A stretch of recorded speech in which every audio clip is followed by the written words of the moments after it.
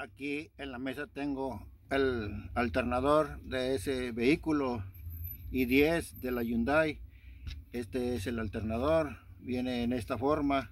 Entonces este es el, tornillo que yo les explico el que trae por la parte de abajo se mete por aquí aquí hay una tuerca fija y al apretar el buje se mueve y lo aprieta, aprisiona entonces este, este es el que sujeta, al, hacerlo de esta forma la banda se afloja y hacerla, al poner la banda y hacer el alternador para allá ya se ajusta. Entonces ya viéndolo explicado cómo se quita este alternador, este es de la marca Valeo, este voy a quitarle estos dos tornillitos para quitarle la tapa. Estos, estas tuerquitas más bien son, son tuerquitas de 8, de 8 milímetros viene cubierta con este plástico. Ya al quitar esas dos tuerquitas ya con un desarmador se levanta la tapita de plástico. Este es un seguro que está ahí. Entonces este nada más se levanta hacia, hacia arriba. Es lo único que lo aprisiona. Y al quitar la tapa nomás esta es una cubierta de plástico. Aquí viene el letrero.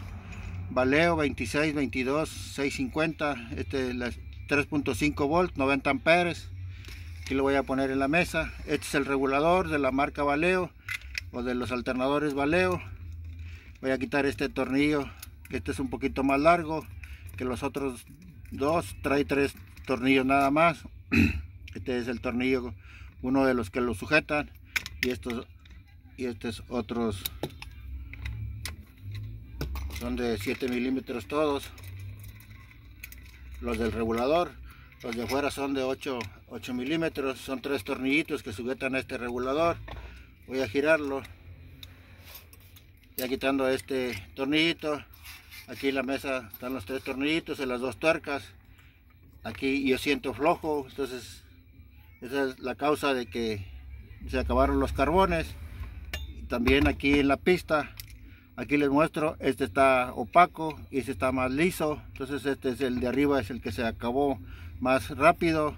Voy a, quitar esta tapita hacerla hacia abajo y a ver. Y aquí les muestro como este es el que viene en la parte de abajo está más brilloso y este está más opaco que es el de la parte de arriba. Entonces este es la razón este, el brilloso es el que está en la parte de abajo y el opaco es el de arriba y como este viene así, entonces esta es la causa, cambiando este regulador, el alternador ya vuelve a funcionar. Aquí les voy a mostrar eh, cómo checarlo con la plaquita, con la lamparita, la herramienta que yo utilizo. Aquí en, el, cable negativo voy a poner mi lamparita para sacar eh, el cable de la, de la lamparita por este lado y en mi izquierda tengo el cable de corriente con un caimán que estas son las herramientas que yo utilizo para probar todos los alternadores. Ya les explico de la marca que sea y cualquier tipo que sea del alternador. Con estas dos simples herramientas son las que yo utilizo para checar y se los muestro a ustedes en cada video que yo hago. Como en ese tengo la corriente en mi izquierda aquí en las uniones de la plaquita de diodos aquí no me debe de prender voy a hacerlo hacia la cámara para que se aprecie.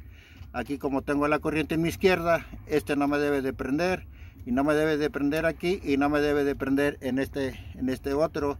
Pero si yo lo hago al revés voy a cambiar los a intercalar los cables para no mover el alternador y aquí lo tengo eh, mi lamparita en el tornillo y aquí sí me debe de prender y me debe de prender y me debe de prender entonces esta es la forma de checar este tipo de plaquitas de diodos de cualquier alternador, cualquier marca que sea, de cualquier vehículo.